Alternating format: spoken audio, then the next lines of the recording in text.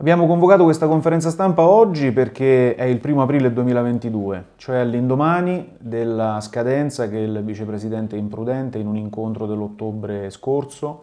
aveva segnato come deadline per avere novità eh, e passi avanti sulla vicenda dell'irriguo del Fucino. Invece purtroppo ci siamo svegliati questa mattina con il pesce d'aprile per la Marsica. Eh, questi passi avanti non ci sono, siamo ancora fermi alle promesse e agli annunci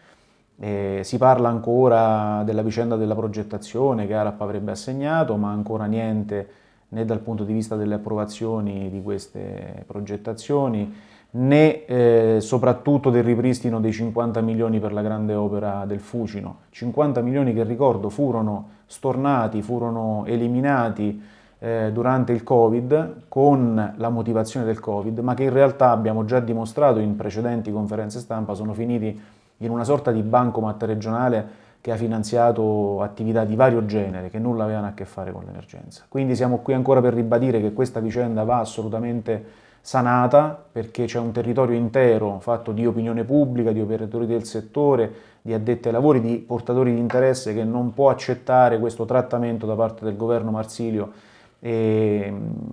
diciamo, fa, fatto solo di annunci senza atti concreti. E poi questa conferenza stampa è anche un po' il punto d'arrivo di settimane di ascolto del territorio e anche di un tour organizzato eh, a contatto con gli operatori agricoli e per prendere visione della vicenda della viabilità del Fucino, che è un grande tema che attiene alla sicurezza e anche all'economia di questo territorio. Eh, nelle scorse settimane, a prima firma PD, a prima firma Paolucci, è stato presentato in Consiglio regionale un progetto di legge che vuole dotare i comuni fucensi di 6 milioni in tre anni per affrontare la vicenda della eh, viabilità e della scarsa sicurezza che c'è sul,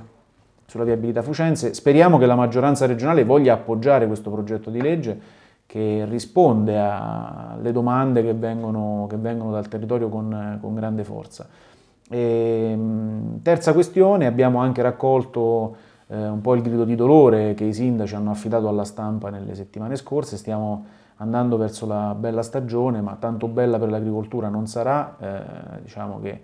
eh, gli elementi e i segni della siccità si stanno già facendo molto sentire, il problema della crisi idrica è ogni anno più grave e quindi anche da questo punto di vista c'è la necessità di un'attenzione, vogliamo prenderci anche noi dai banchi dell'opposizione una quota di responsabilità e di azione politica per anche su questo andare incontro alle richieste del settore agricolo.